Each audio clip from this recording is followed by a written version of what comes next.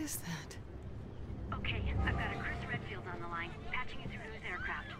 Chris Redfield. Leon!